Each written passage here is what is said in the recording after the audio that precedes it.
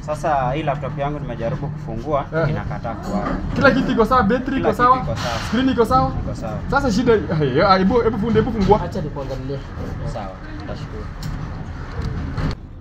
Wow, bro, hebu angalia Platonius Terminal 284S imecrystallize. Hii kitu iliingia kwa maji. Na wacha nikwambie, hiyo kitu ikiingia kwa maji wewe inaweza choma hata baka nyumba. Ichome hata baka watoto. Ni riski sana bro. Nakwambia ukweli. alafu tena wewe ujaangalie ni lapi vizuri. Angalia hapo sp- ameta ammeter. Juu kitu ilipatana na maji ikavaporize.